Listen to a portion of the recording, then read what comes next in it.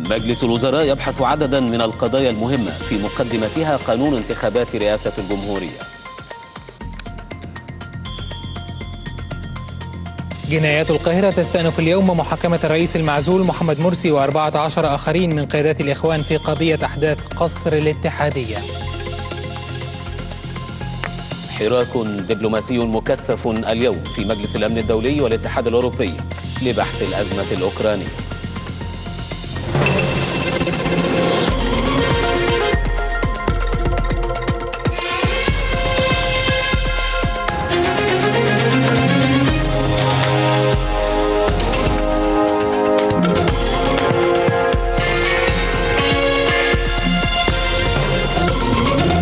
أهلا بكم مشاهدينا الكرام في نشرة إخبارية جديدة تأتيكم عبر شاشة قناة النيل للأخبار من القاهرة.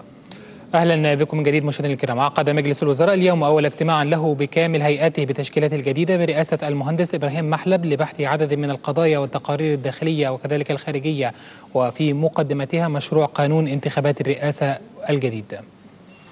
وكذلك إضافة إلى تطورات الوضع الأمني في البلاد وجهود الحكومة لتحقيق الاستقرار والاستعدادات الخاصة باستئناف الدراسة يوم السبت المقبل الثامن من ديسمبر.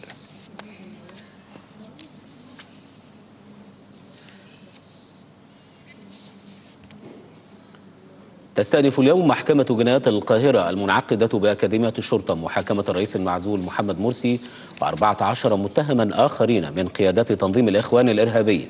في قضية أحداث قصر الاتحادية. هذا ويواجه المتهمون تهما تتعلق بالقتل والشروع في القتل المتظاهرين السلميين المناهضين للإعلان الدستوري المكمل الذي أصدره الرئيس المعزول محمد مرسي في نوفمبر من عام 2012 وكانت المحكمة قد أجلت الجلسة سابقا لنظر قيام هيئة الدفاع عن المتهمين بتقديم طلب لرد هيئة المحكمة.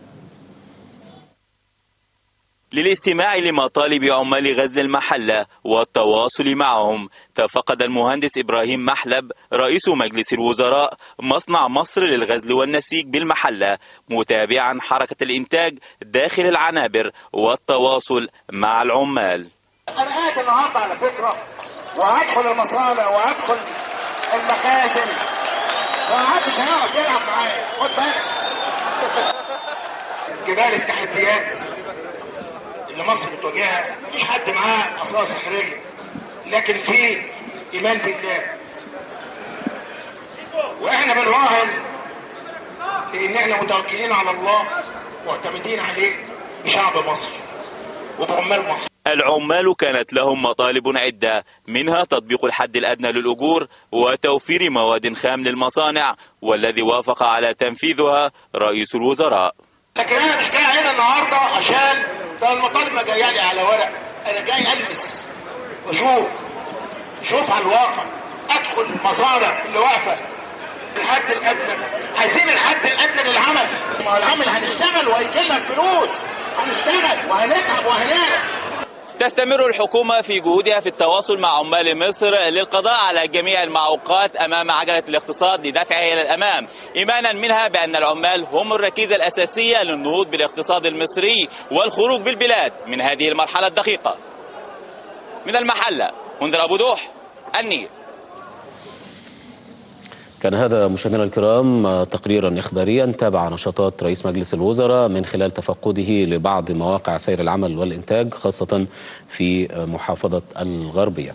آه للمزيد من المتابعة انضم إلينا عبر الهاتف الأستاذ كمال ريان نائب رئيس تحرير جريدة الأحرار المتخصص في شؤون مجلس الوزراء. آه أستاذ كمال أهلا بك. بداية وأهم القضايا المطروحة آه على أجندة المجلس في مناقشات اليوم. طبعا ده الاجتماع الأول لحكومة الدكتور نعم. إبراهيم محلب هيناقش طبعا خطاب تشكيل الحكومة اللي وجهه رئيس الجمهورية رئيس الوزراء وحدد فيه أهم الأولويات سواء من الناحيه السياسيه من الناحيه الأمنية من الناحيه الاقتصادية من ناحية الخدمات تسهيل الخدمات المقدمة للمواطنين واهمها استكمال خارطه الطريق وفرض الأمن وحل المشكلات الاقتصادية الاستجابه لمطالب العمال تحقيق العدالة الاجتماعية. هيناقش بشكل عام كل وزارة هتعرض رؤيتها للمهام الموكولة بها خاصه وزارة التضامن الاجتماعي اللي يمكن عليها دور كبير في موضوع العدالة الاجتماعية. آه، هيناقش طبعا الملف الأمني والإجراءات اتخذها الحكومة لفرض الأمن، الملف الاقتصادي وخاصة بعد الجولة اللي قام بها رئيس الوزراء آه، بالأمس. والاستجابه لمطالب العاملين وهيحاول يوصل رسالة تطمين العاملين إن كل مطالبهم سيتم الاستجابة لها. ويتوقع أيضا إن مجلس الوزراء اليوم من الممكن أن يناقش مشروع قانون الانتخابات الرئاسية آه، بعد ما الرئاسة هو رجع من مجلس الدولة للرئاسة وبعدين الرئاسة حولته للحكومة للموافقة عليه بشكل نهائي بحيث لو وافق عليه مجلس الوزراء اليوم آه، الرئيس من الممكن أن يوقعه ويصدر آه، القانون ليفتح المجال لفتح الباب للانتخابات الرئاسية. فيعني أعتقد إن اجتماع المجلس في أول اجتماع لحكومة الببلاوي لحكومة المهندس إبراهيم محلب أول اجتماع لها اليوم مهم جدا سواء من الناحيه السياسيه من الناحيه الأمنية من الناحيه الاقتصادية أو من ناحية الخدمات المقدمة للمواطنين وأيضا هو- موضوع الأسعار وتوافر المواد التمويلية وغير ذلك. هو بس مسألة على الهامش اجتماع الحكومة الأسبوعي عادة بيكون يوم كل يوم أربعة مش كده؟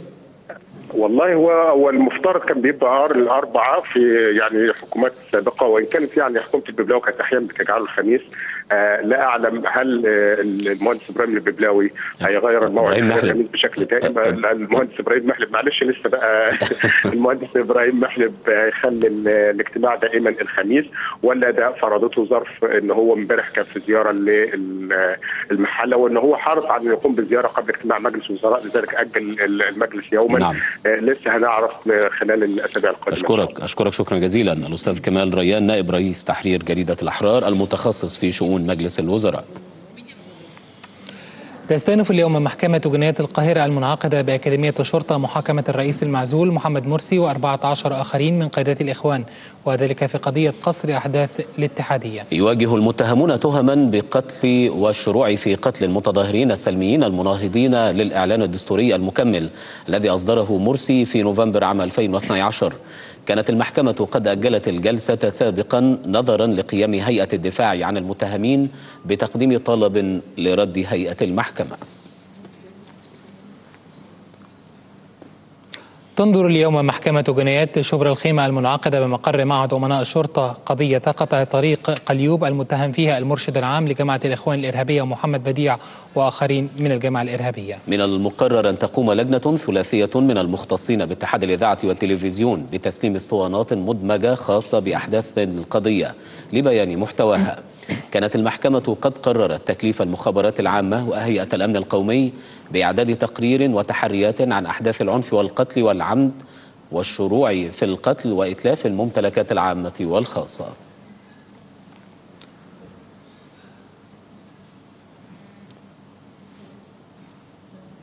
تعقد محكمة جنايات شبرا الخيمة دائرة الإرهاب بمقر معهد أمناء الشرطة أولى جلسات. محاكمة 38 من أنصار جماعة الإخوان الإرهابية في أحداث محاولة تفجير محطتي مترو الأنفاق بشبرا الخيمة وكذلك كلية الزراعة خلال الاحتفال بنصر أكتوبر من العام الماضي. وقد وجهت النيابة إليهم تهم إتلاف وتخريب وتعطيل مرافق عامة والانضمام لجماعة محظورة وتعطيل مؤسسات الدولة وإحراز أسلحة وحيازة مفرقعات حيث كان بحوزتهم أربعة أو أربع وخمسون قنبلة بدائية الصنع. تنظر اليوم محكمة أمن الدولة العليا طوارئ ببورسعيد قضية التخابر المتهم فيها مدير شركة ملاحة ببورسعيد بالتخابر لصالح جهاز المخابرات الإسرائيلي وحزب الله اللبناني. يواجه المتهم تهم التخابر والتجسس لصالح جهاز الموساد من خلال التواصل مع اثنين من ضباط جهاز المخابرات الإسرائيلي بالإضافة لجهازي مخابرات تابعين لإيران وحزب الله وإمدادهما بمعلومات عن القوات البحرية وموانئ بورسعيد والمنشآت الحيوية على ضفتي القناة.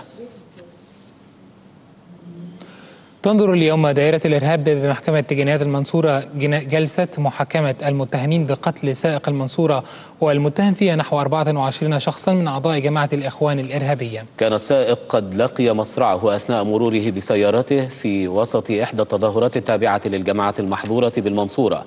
فوقعت اشتباكات بينه وبين المتظاهرين قاموا على أثرها بطعنه عدة طعنات أدت لوفاته في الحال كما قاموا بإشعال النار في سيارته.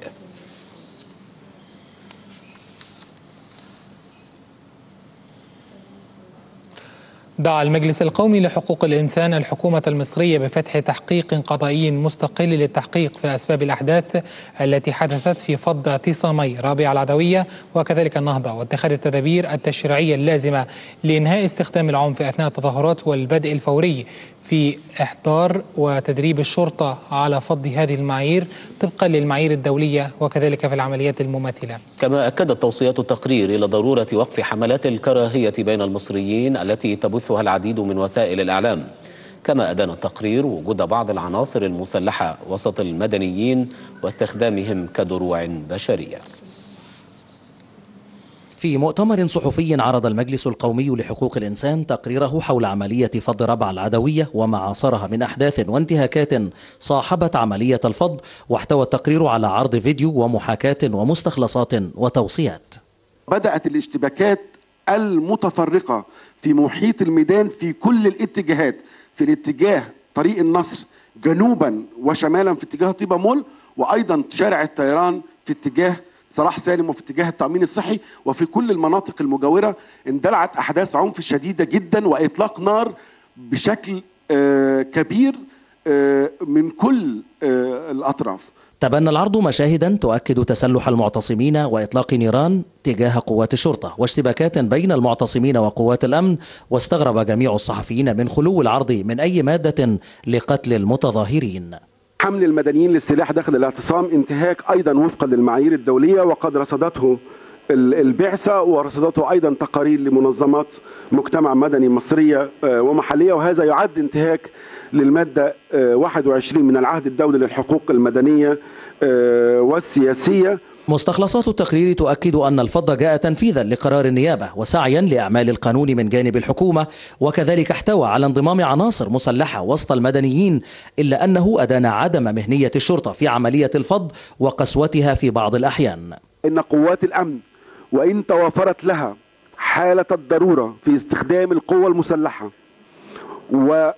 والأعيرة النارية في استخدام القوة المسلحة نظرا لاندلاع عمليات مقاومة لها من قبل العناصر المسلحة وأنها أي قوات الأمن قد حافظت على تناسبا نوعيا من حيث طبيعة الأسلحة المستخدمة إلا أنها قد أخفقت في الحفاظ على ضبط النفس في بعض الأحيان. أخلت بالتناسبية من حيث كثافة الإطلاق تجاه مصادرها بشكل لا يتناسب والهدف من المهمة الداعية لاستخدامها. في الختام أوصى التقرير فتح تحقيق في الأمر وتعويض كافة الضحايا ووقف آلة الكراهية التي تبثها بعض وسائل الإعلام حفاظا على الأمن القومي. يبقى أن نشير إلى أن هذا التقرير حظي بتغطية إعلامية دولية واسعة النطاق. ويبقى الدور الرقابي للمجلس القومي لحقوق الإنسان وهو أن يرسل التقرير للجهات المعنية حتى تتخذ اللازم حياله إذا أرادت. من مقر انعقاد المؤتمر محمد محمود النيل. تلقى الرئيس عدلي منصور اتصالا هاتفيا من ملك البحرين حمد بن عيسى آل خليفة ناقش خلاله التطورات الإقليمية التي تمر وتشهدها الساحة المحلية. كانت كل من السعودية والبحرين والإمارات قد أعلنت في بيان مشترك سحب سفرائهم لدى قطر بسبب عدم التزام الدوحة بالمبادئ التي قام عليها النظام الأساسي لمجلس التعاون الخليجي. في قرار غير مسبوق داخل مجلس التعاون الخليجي قررت السعودية والإمارات والبحرين سحب السفراء من إمارة قطر. دول مجلس التعاون الخليجي الثلاث أكدت في بيان مشترك أن قرار سحب السفراء يرجع إلى عدم التزام الدوحة بمقررات تم التوافق عليها سابقا بين دول المجلس بعدم